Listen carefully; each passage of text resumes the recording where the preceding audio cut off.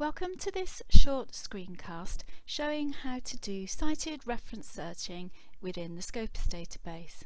This is useful if you have a good article and you want to find out who cited it.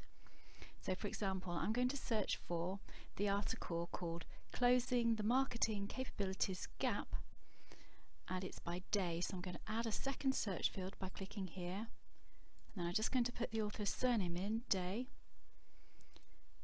so I'm going to make sure that I've got article title selected here and author selected here and then click on search.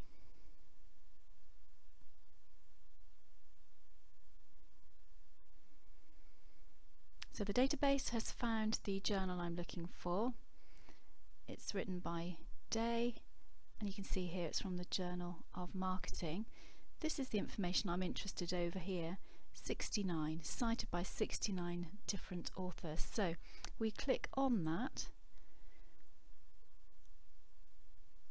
and here I have a list of every article that has cited the one that I'm interested in. So this is a useful way of finding relevant related research. Within the database itself you can click on the title to get to more information about that particular article. And if I just go back to my list at this point, to get to the full text of any of these, we click on the links button to link through to it. If you wish to analyse the results in a little more detail, it might be useful to select this option here, Analyse Search Results.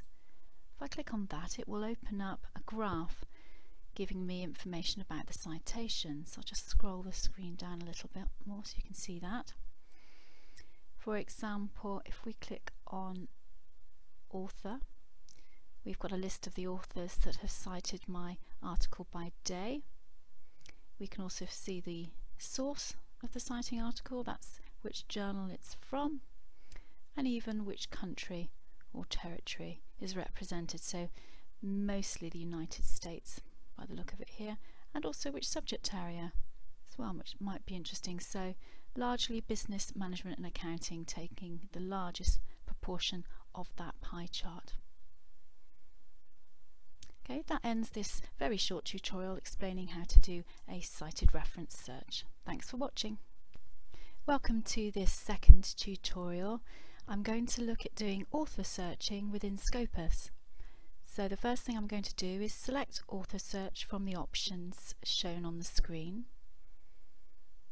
And then I'm going to search for the author GS Day that we looked for in the first tutorial.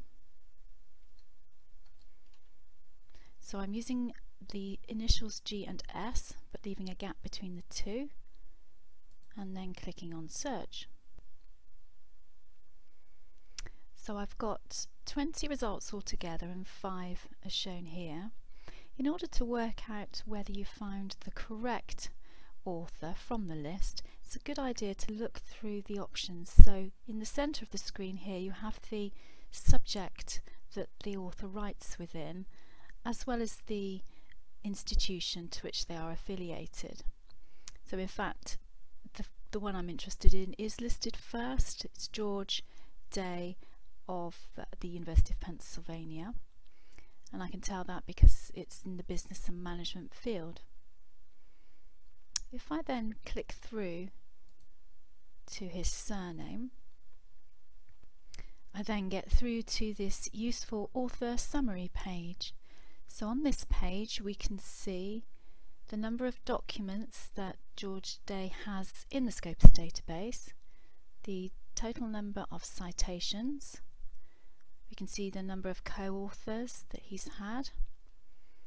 And on the right hand side, if I scroll down, you can see we've got author history, so his publication range, and also the total number of references that he's used in his articles.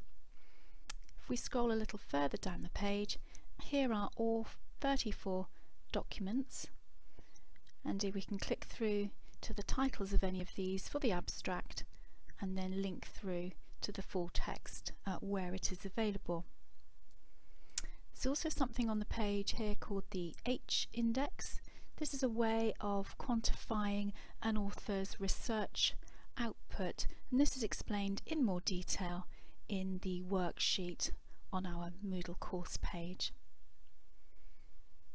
Okay, in order to do another search at this point you can go back to the search, we can go back to the results first of all in order to look at anyone else on this page or go back to search and to start another author search from this point or to do a document search. Uh, that's the end of this short tutorial. Thank you for watching.